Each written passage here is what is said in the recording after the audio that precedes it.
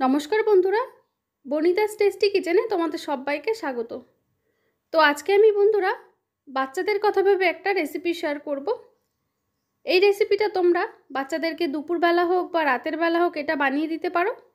ভীষণ পুষ্টিগুণে সমৃদ্ধ একটা রেসিপি এটা কিন্তু বাচ্চারা ভীষণ পছন্দ করবে খেতে আর ভীষণ ভালোও লাগবে। তাহলে চলো বেশি দেরি না করে রেসিপিটা শুরু করে দিই। তো এখানে আমি প্রথমে নিয়েছি তিনটে পটল এই পটলগুলোকে খুব ভালো করে কিন্তু আমি গ্রেটারে গ্রেট করে নেব। তো গ্রেটারের ছোট সাইড দিয়ে গ্রেট করব না, বড় সাইড দিয়ে গ্রেট করব। তার কারণ ছোট সাইড দিয়ে গ্রেট করলে বেশি ঝুড়ি ঝুড়ি হয়ে যাচ্ছে। আর সেটা কিন্তু এই রেসিপির জন্য একদমই পারফেক্ট হবে না। তো তার জন্য কিন্তু আমি গ্রেটারের বড় সাইড দিয়ে আমি গ্রেট করে নেব। এখানে আমি তিনটে পটল নিয়েছি।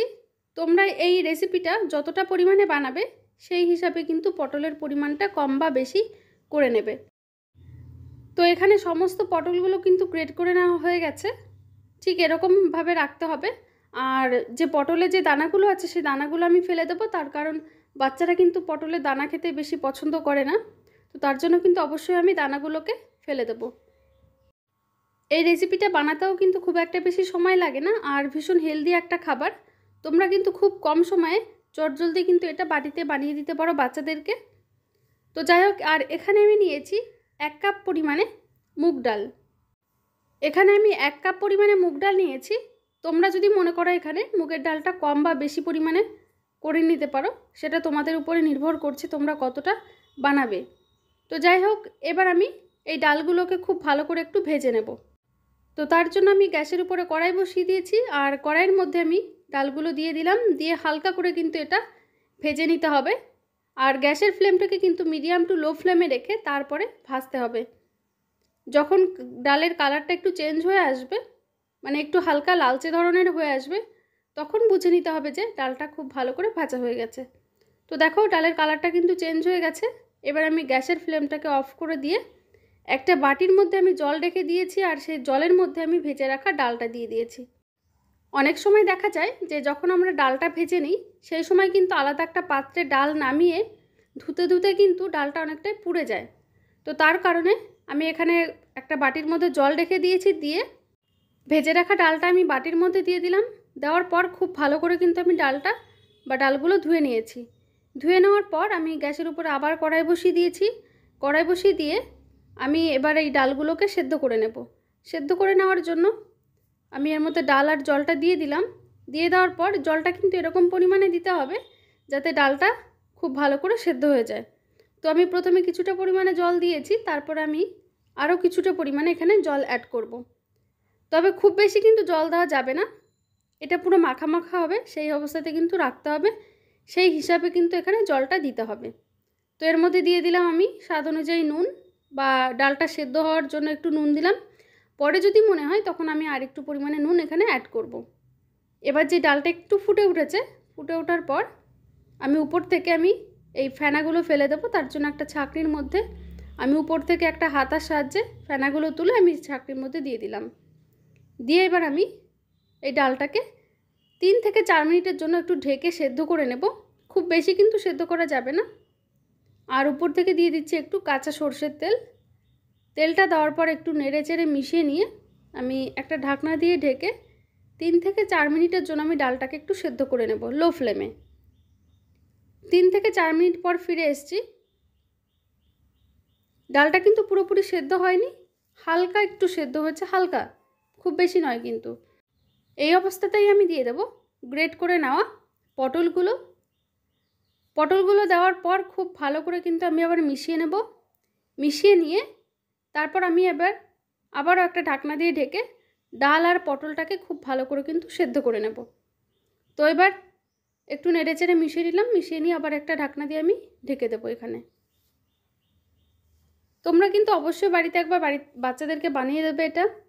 ভীষণ পছন্দ করবে আর বাচ্চারা কিন্তু অনেক সময় পটল এমনি দিলে খেতে চায় না বা মুগ ডাল এমনি অবস্থায় রান্না করে দিলে কিন্তু খেতে চায় না। তো এইভাবে কিন্তু তোমরা বাড়িতে বানিয়ে দিতে পারো। তো দেখো, পাঁচ থেকে সাত মিনিট পর ফিরে এসেছি। ডালটাও খুব ভালো করে কিন্তু সেদ্ধ হয়ে গেছে আর পটলটাও সেদ্ধ হয়ে গেছে। তো এই অবস্থাতে আমি দিয়ে দিলাম একটু হলুদ গুঁড়ো বা পরিমাণ মতো হলুদ গুঁড়ো। হলুদ গুঁড়োটা দেওয়ার পর আবার আমি নেড়েচেড়ে মিশিয়ে নেব। মিশিয়ে নেওয়ার পর একটু ফুটিয়ে নিতে হবে। তা নাহলে কিন্তু হলুদের একটা গন্ধ থেকে যাবে। এবার এটাকে খুব ভালো করে আমি একটু ফুটিয়ে নেব। ভীষণ টেস্টি হয় খেতে এটা, আর বাচ্চারা কিন্তু ভীষণ পছন্দ করবে এই ধরনের এক খাবার। আর এটা ভাতের সঙ্গে ভীষণ টেস্টি লাগে। তো এবার আমি গ্যাসের ফ্লেমটাকে অফ করে দিয়েছি। অফ করে দেওয়ার পর ওই একই কড়াই আমি ভালো করে ধুয়ে নিয়েছি। ধুয়ে নেওয়ার পর আমি ফোড়ন দিয়ে দেব। তো ফোড়নে দিয়ে দিলাম এক চামচ সর্ষের তেল আর দেড় চামচ মতো ঘি। ঘিটা দেওয়ার পর আমি এবার এর মধ্যে দিয়ে দেব দুটো তেজপাতা। আর এর মধ্যে দিয়ে দেবো আমি একটা শুকনো লঙ্কার চেরা। তো এখানে ঝালটা কিন্তু আমি এখানে কমই রেখেছি বা আর দেবো না কিন্তু এখানে ঝাল। যেহেতু বাচ্চাদের জন্য আর বাচ্চারা কিন্তু একদমই ঝাল খেতে পারে না, তো তার জন্য আর দিয়ে দিলাম এখানে উঁচু উঁচু এক চা চামচ এখানে গোটা চিড়ে এবার এই ফোড়নটাকে একটু নাড়াচাড়া করে নেওয়ার পর যখন ফোড়ন থেকে একটু সুন্দর গন্ধ বেরোবে, তো এবার আমি এর মধ্যে সেদ্ধ করে রাখা ডালটা দিয়ে দেবো। ডালটা দেওয়ার পর খুব ভালো করে কিন্তু আমি আবার নেড়েচেড়ে মিশিয়ে নেব। তোমরা কিন্তু অবশ্যই বাড়িতে একবার বানিও আর বানিয়ে কেমন হয়েছে বা তোমার বাচ্চারা খেতে কেমন পছন্দ করেছে সেটা কিন্তু আমাকে কমেন্ট করে জানাতে ভুলবে না। আর হ্যাঁ এটা কিন্তু শুধু বাচ্চা নয়, এটা কিন্তু বড়রাও খেতে পারে। সেক্ষেত্রে কিন্তু লঙ্কাটা তোমরা তোমাদের মতো দিয়ে নেবে।